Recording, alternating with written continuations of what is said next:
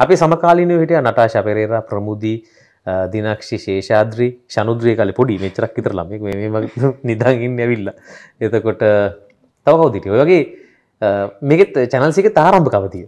හරිම වතුට දැන් අද ගොල්ලන් තම තමගේ ෘතියවල සෑහන්ට දුරගිහිල්ල ඉතිං මෙතන මගේ ජීවිතය කියන නිවේදකෙක් හැටියට ලංකාවට ඇවිල්ල ම පටන්ගත පලවිනි වැඩසටහන රූපානි මාධ්‍යක පේන මාධ්‍යෙක් කරනගේ ජනසයකි ලංකාවට සිංගපපද ආපු අලුත මම කාලේ හොටෙල් මැනිශ්මන් තමයි ඉගෙනගෙන සහ රස්සාාව කරමගට මට වෙලා යන්ඩ තිබ්බ.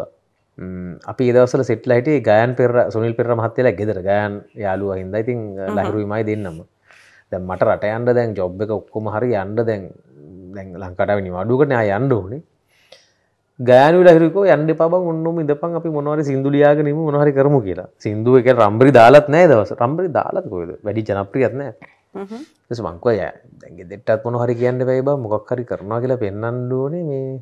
මංකවා මේ එස ගෑන් දන්න මොකද මස්සිනා වීඩියෝ කරේ වයිඩ් ඩැංගල් එතකොට ඒ හරා ප්‍රසංගසා තුසිතව අඳුරනවා